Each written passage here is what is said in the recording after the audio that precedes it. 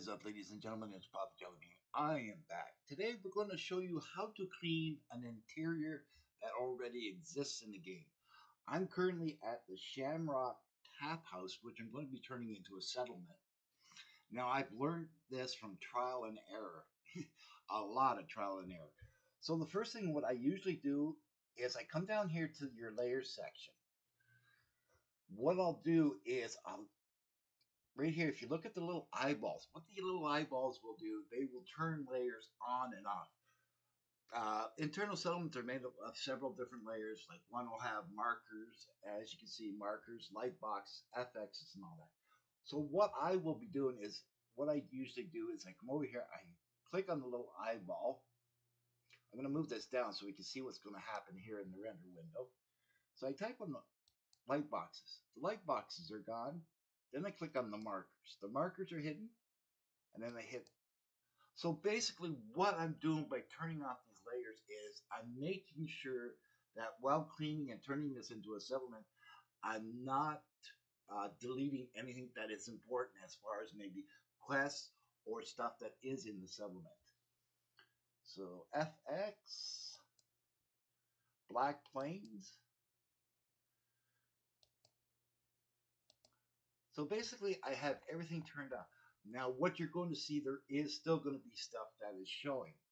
What you simply do is you click on it. Now, what I suggest you do, I'm going to close that, is come over here to View, ref, Reference Back Batch Action Window. Open that up and just have it off to the side. What this will do is if you click on something and you notice in here, you'll see what that item is.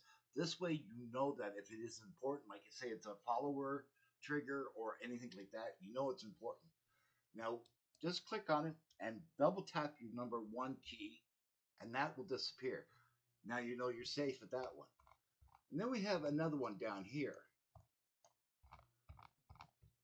So we're going to click on that. We're going to check in our batch action window, and we're going to see that it's a default activated self trigger. We don't want to mess with that. So again, double click on your one key. And then we have one more box over here. We're going to just check that. Okay, that's a package location primitive. So we do not want. And what we notice when we do click on it, look at these little arrows. So this is actually attached to something within that interior cell. So you just double click your one key again and it's gone. So that should be all your markers turned off. So now what we can do is we can now go inside and start cleaning up a little bit. So there's two ways that you can clean up. First of all, we're going to work in this little area right here. Now, I want to keep the walls. So what I'm going to do is I'm just going to get rid of the garbage. And another way you can turn off markers. See all these markers here? There's another way. If they are still shown, another way that you can turn off those markers is you simply press the M key. By pressing the M key, it turns off all those markers. So now you're just left with this little bit of a mess. Now, what I do is, and I make sure, and I've learned this from trial and error, is I do not delete. I highlight everything I want to clean up, but I do not delete it. The reason why is because sometimes that'll mess with your previs and your pre-comps. So you're going to be looking here in your batch action window to make sure that you're not getting any uh, markers that may be in the area. So you're going to highlight a bunch of stuff. Once you have that all highlighted, come over to your bat, batch action window and right down here, set initially to disable. Then what you're going to do is you got all this stuff highlighted. You're going to press do. Press do a couple times to make sure. Then you're going to click into the frame. And then you're going to hit the Z key. And as you can see, by pushing the Z key, I have this arrow that is in blue with the arrow pointing up and a circle. Hold your left mouse key down and just simply drag it down out of this place. So now that is all gone. And you're just going to continue doing this throughout the whole settlement to get it all clean.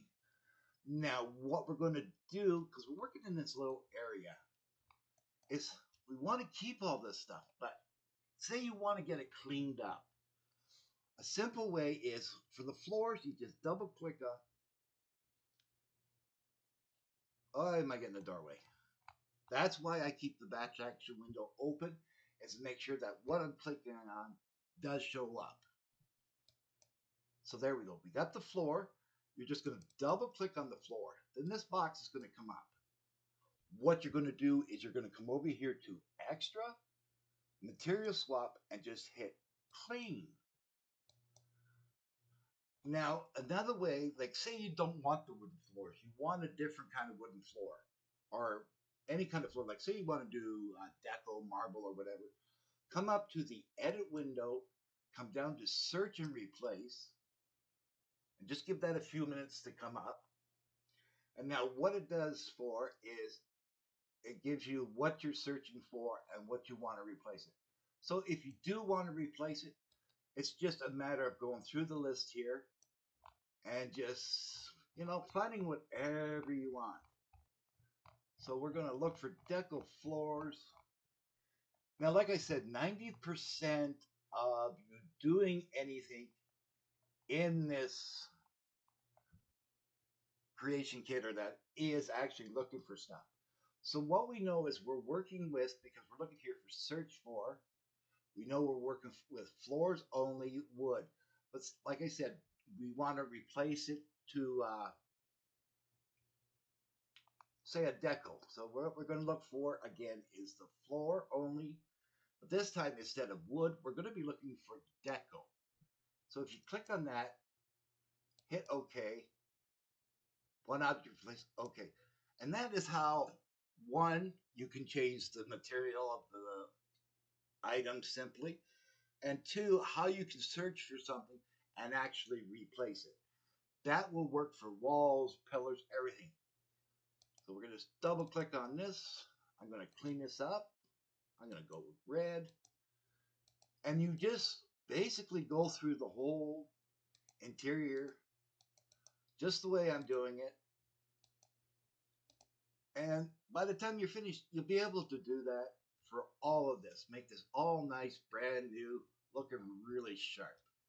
So there you go, ladies and gentlemen. That's just a little basic breakdown at how to clean and material swap and search and replace items in an existing interior cell. So like say you find one you want it, you want to clean it all up, come into the creation kit and do that. And that is how it's all done. So if you've enjoyed this video and you found it helpful, give it a thumbs up. The algorithm will love you. I'll love you. Everyone love you. Don't forget to smash that subscribe button move your mouse a little to the right and hit that bell icon so you'll be notified each and every time I upload a video. And always remember, wherever the journey takes you, may the road rise up to greet you. I'm Jellybean, and thank you so very much for watching.